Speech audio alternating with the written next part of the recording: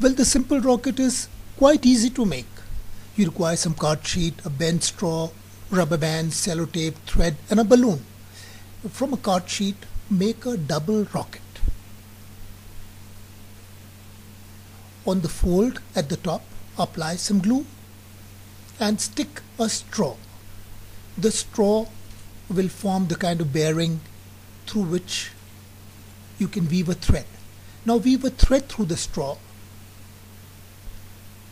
and then apply glue and stick the rocket onto itself so that it looks nice and colorful from both the sides.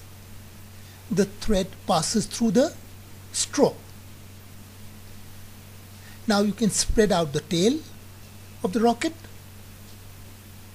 and then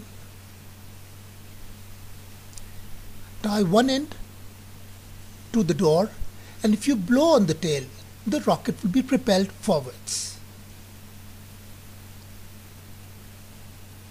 Now stick a bent straw inside the rocket. Tie a balloon to one end of the bent straw. Again weave the thread through the top straw and your rocket is ready to take off blow from the other end of the straw to inflate the balloon.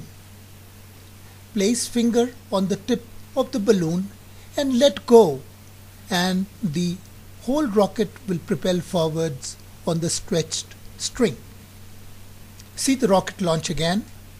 As soon as you leave it, well air pushes out from the other end of the straw and propels it forwards. It's a very delightful model for children